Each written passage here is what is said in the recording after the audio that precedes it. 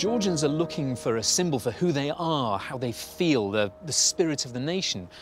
Georgia keeps coming back to the vine, to grapes, and, and ultimately to wine. Kakheti and its surrounding vineyards have been producing natural wine for eight millennia.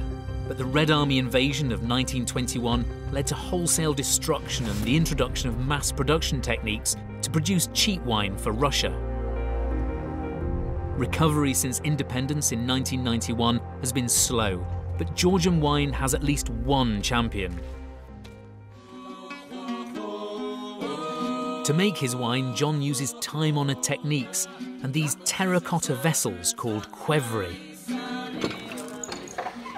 Here we are at our original cellar. These are the, the qvevri. The fact that they're buried in the earth, there's a whole philosophy behind that.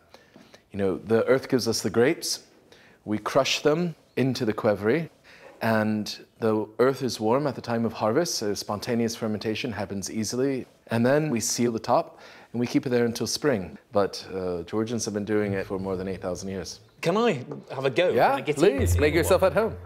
It's strange to think that wine was being made this way 3,000 years before even the pyramids were built. It's cool as well. It's like stepping into a, not quite a fridge, but a sort of cool room, like a, a storeroom somewhere.